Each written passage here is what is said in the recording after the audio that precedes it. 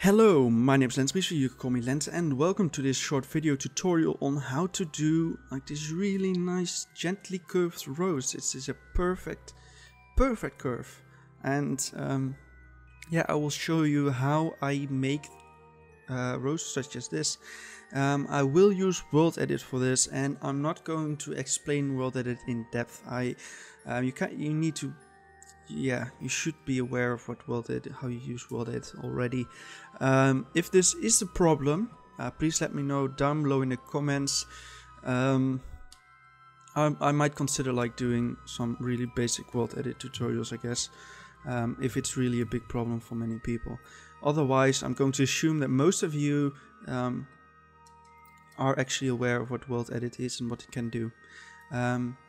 So yeah, we are going to make these perfectly curved roads and it's really it's just a simple trick actually. Um, what we're going to do is we're going to make a hollow circle. Um, hollow circle, let's make it of material 1. Mm, how much shall we do? 5 from the center and 4 high. Okay, now we have one circle and now we need to decide on how wide the road will be. I'm going to say three blocks.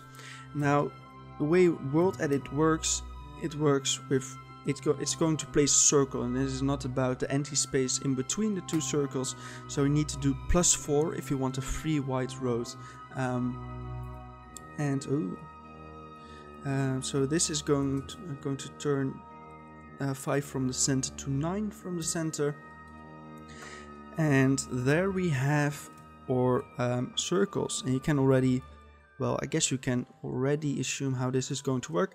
Now there are some more minor tricks to it.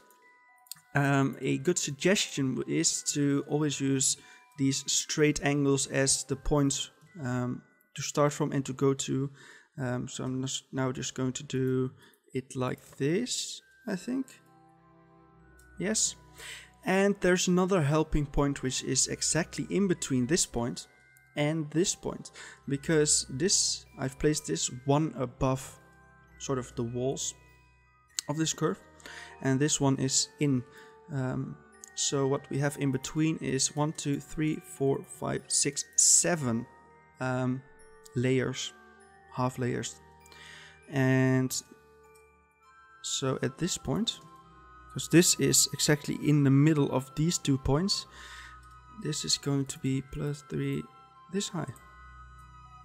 Yeah.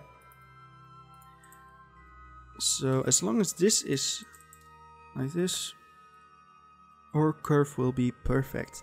Now I'm just the rest I'm going to fill in just eyeballing. Um, I don't make really any mathematical calculations or whatever. Um, it's probably possible. You can do this probably like pixel perfect, I reckon. Um, but yeah, then it's not really my thing. Um, so okay, this will work. And on this side, um, this, this it gets harder when you're doing it with a really big wide road such as you see over there but then it's really like one point in in a 45 degree angle one extra point to help you decide how like wide stairs will be. Uh, it isn't very much so could probably do take another point in between but um, yeah no it will take a bit more effort I think. So but uh, so now we have this curved road it is at a somewhat of an incline um, I'm just going to get rid of the stone so I'm going to brush sphere 0 6 mask stone. So now to get rid of the stone because we no longer need these circles um, or you can just turn them into another type of block if you want to use them um, kind of like um, railings along the side which I did over there customized it quite a bit afterwards, but yeah.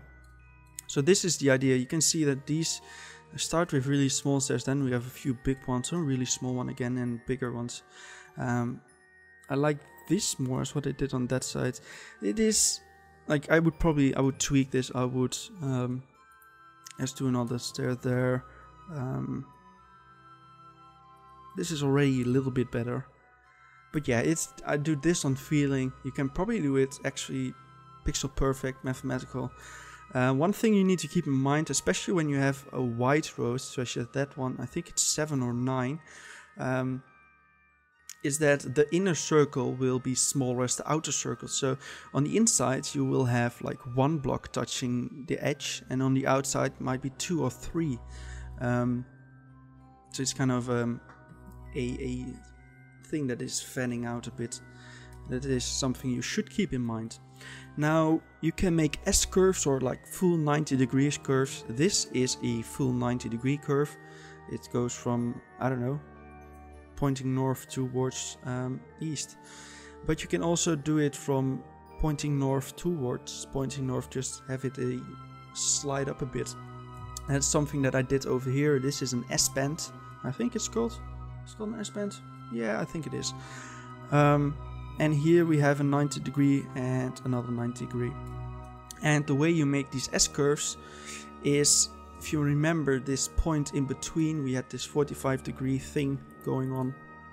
And instead of saying, okay, I will take this curve farther in this direction, I'm going to say, okay, I'm going to mirror this or flip it. Um, so this will be here and it will just curve the other way around. And um, you can just select this area. Am I going to, can I do this no, I'm, I haven't done this very neatly, so I can't do this for this one. But um, oh, you can also do it just already in the in the circling stage, I guess. Um, it will take need, need a bit a bit of um, going back and forth probably to get that exact right points. Um, no, but hopefully this this will be clear. Otherwise, take video a bit longer. Um, yeah, this is this is how you make such perfectly curved roads, and I wouldn't suggest you do it for every build everywhere. Um, it's kind of really stylized. It is perfect-ish, um, and it will definitely not work for every style.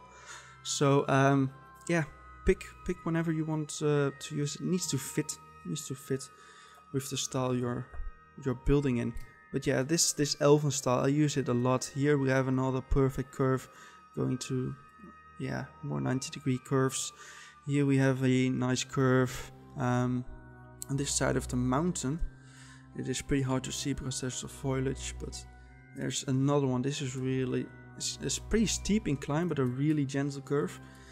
And this road is possibly taking too long, but it's nice.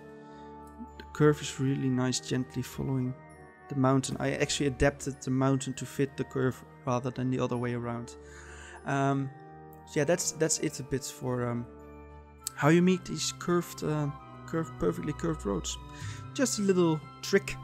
Um, yeah, I want to thank you for watching this video. Have an awesome day. Have an awesome summer.